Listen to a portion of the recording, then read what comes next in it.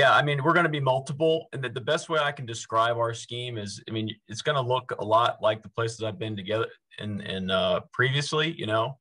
Um, but you look at watch the, our Baltimore defense, and you know, tell me the times that we look like a three-four.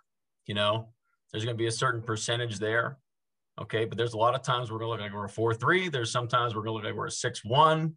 You know, there's sometimes we're like a six-two. Okay, sometimes you're not going to know what the heck it looks like you know? so um, that's hard for me to say that we're going to be a 3 4 per se.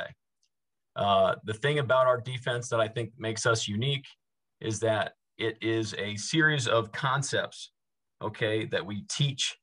Like, for example, there are things that we'll teach our guys that there's no even call involved with those concepts.